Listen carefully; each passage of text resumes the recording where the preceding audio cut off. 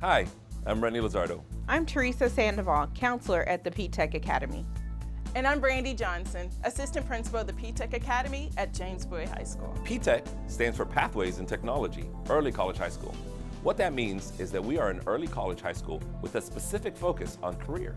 Students will have the opportunity to earn an associate's degree and recognize industry certificates within their pathway at no cost to the students or their family.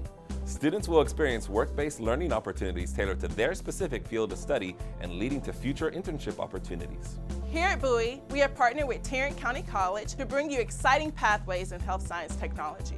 Imagine earning up to 60 hours of free, free college credit and gaining healthcare certificates and participating in health-related internships, all while cheering on the Bowie Vols football team or dancing with the Bells or being a part of our dynamic fine arts department.